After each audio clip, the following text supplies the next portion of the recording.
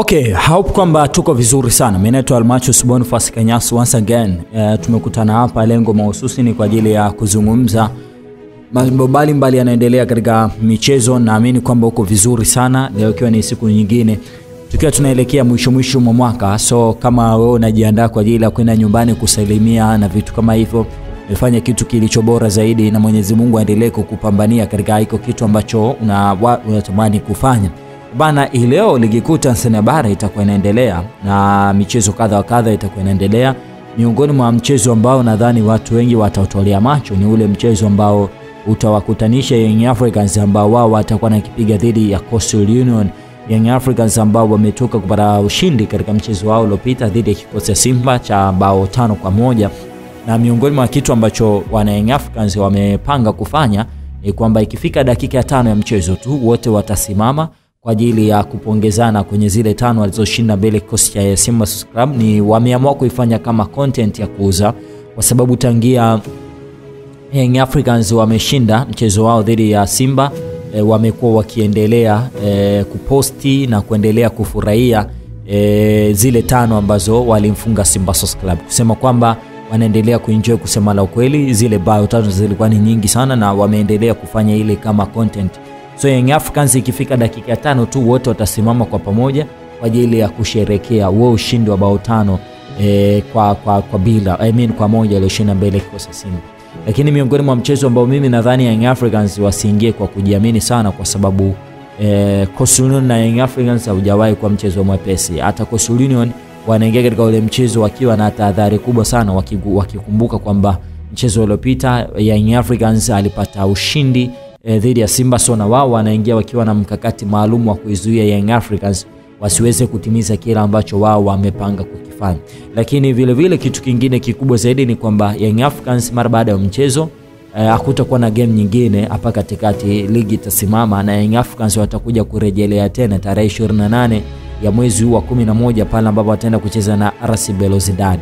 So ni kama vile ratiba kwa ligi kuu Tanzania bara, Young Africans itakuwa inapumzika, wachezaji watakuwa wanaenda kujiunga kwenye e, kwenye timu za taifa E, kama mtu kama e, Wamnyeto Ibrabaka, Dickson Job, Clemens Mzinze Kibabage, hawa ni miongoni mwa wachezaji. Mudathiri haya basi miongoni mwa wachezaji ambao wameitwa kwenye timu ya taifa, wao watakuwa wanaenda kwenye majukumu ya timu ya taifa, kusema kwamba mwalimu anaweza asifanye rotation kubwa kwenye kikosi chake kama ufanisi wa wachezaji wake utakuwa umefika kwenye pahala ambapo tunadhani nadhania kwamba kutokuwa na mabadiliko, lakini ninaona kuna baadhi ya wachezaji ambao inawezekana leo wakapumzika. Kwenye eneo la ulinzi Djigui Diarra sitaki kuamini kwamba leo hatocheza, naamini kabisa ataanza, lakini vile vile ninaamini mtu kama eh, Lomalisa Mutambala ataenda kupumzika, Kibabaga anaweza akaanza, Dickson Job eh, pamoja na Bakaneno Mamnyeto wanaweza wakaanza kwenye ile eneo eh, kwa maana Blabaka akapumzika. Kati ya Blabaka na Dickson Job lazima atapumzika mmoja. Ninaamini kabisa kwamba Yao Yao Kwasa anaenda kuanza katika mchezo wa leo. Uh, uh, eneo la katikati na bilivu Mudathiri haya basi pamoja na Ucho lazima wataanza kwa pamoja. Maxim pia Aziziki pamoja na Pokame Zuzwa wana uwezekano wa kuanza, labda kama mwalimu ataamua kutwisi, manake Jizu Kapele Mnoko ni mchezaji ambaye atapewa nafasi ya kuanza kwa maana ya wapite kwenye mapana na kuifungua hiyo timu. Clemens Walid Mzinze na bilivu alipoishia pale mchezo dhidi ya kikosi cha cha Young Africans cha, cha Simba ataenda kuaminika katika mchezo wa leo ambao utapiga majira saa kumi na mbili na, na nusu. Kwa hiyo ataaminika na believe hivyo. So far utakuwa ni mchezo mzuri kwa sababu utaingia hapo Young Africans akikutana na kikosi cha Coastal Union haujawahi kuwa mchezo mwepesi. Young Africans wanaenda kucheza mchezo wao wa nane ambapo wameshashinda michezo yao takriban saba. E, yote wakiwa wameshinda. Mimi wamecheza michezo saba, wameshinda mchezo wameshinda michezo sita, wamepoteza mchezo moja ambao walifungwa dhidi ya IF na wamefunga jumla mabao 25 wao wakiwa wamefungwa mabao sita peke yake. Ni miongoni mwa kikosi ambacho kimekuwa na striking force ambayo ni bora zaidi, na hivi sasa naweza nikasema Young Africans wapo kwenye climax kubwa sana. Wanakutana na Coastal Union ambaye walikuwa na Mwinyi Zaera, Mwinyi Zaera ambaye amefukuzwa kazi na hivi sasa kikosi kipo chini ya mwalimu angalizi, na usisahau kwamba wamepata ushindi mmoja tu kwenye michezo mitatu iliyopita. Ni kama Coastal Union wameshinda E, mchezo mmoja peke yake, kusema kwamba wana struggle kutengeneza e, matokeo. Na Young Africans wanaokuta imara na wana striking force ambayo ni bora. Kwenye game nane kufunga mabao 25 inakuonyesha kwamba hawa jamaa wako serious kwa kiasi gani, wana uwezo wa kupata mabao matatu na kuendelea katika mchezo mmoja kwa average ya, ya haraka haraka. Coastal Union wana struggle kusema la ukweli, na ndio maana hata jana ukisikiliza press conference ya mwalimu wa kikosi cha Coastal Union anasema wanaingia katika mchezo wa leo kuhakikisha kwamba wanapunguza idadi ya mabao yasije yakawa mengi na wakajikuta wamepoteza. So far so good, tusubiri kuona mchezo huo, lakini wachezaji wa Young Africans ninavyozungumza nawe mara baada ya kushinda mabao saba I mean mabao matano eh, kwa moja. Mabao saba tena jamani, do haya e, wameweza ku, e, kujikwatulia kitita cha milioni sab, milioni mia saba.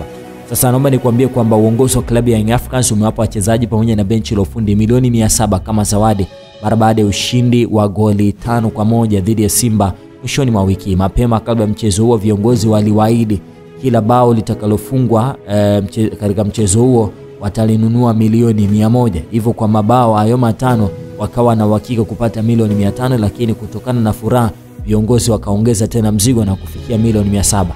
Hivyo kutokana na fedha hizo kila mchezaji anaweza kuchukua milioni kumi na tano kama itawezekana, eh, hii pesa yote ikatolewa milioni 15 kila mchezaji e, kwa mujibu wa kile ambacho wachezaji walikuwa wameahidiwa, na hizi ni taarifa za siri. Sasa sijajua hizi zote zitalipwa kwa mkupuo kwamba kila moja anapewa kibunda chake ama italipwa kwa, eh, kwa maana yale mabonus yatakuwa yanakuja kwa time to time.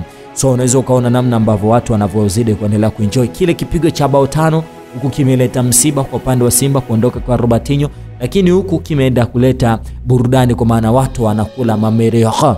Mimi naitwa Almachus Boniface Kanyasi. Shukrani sana kwa kunitazama na endelea kubaki hapo hapo. Usisahau kusubscribe, kucomment, kulike na kushare ili wewe wa kwanza kuzipata taarifa pale ambapo zitakuwa zinapandishwa, lakini usisahau unifuata katika mtandao wangu wa kijamii pale mjini Instagram, nafahamika kama Almachus Boniface Kanyasi. My friend, shukrani sana and bye bye.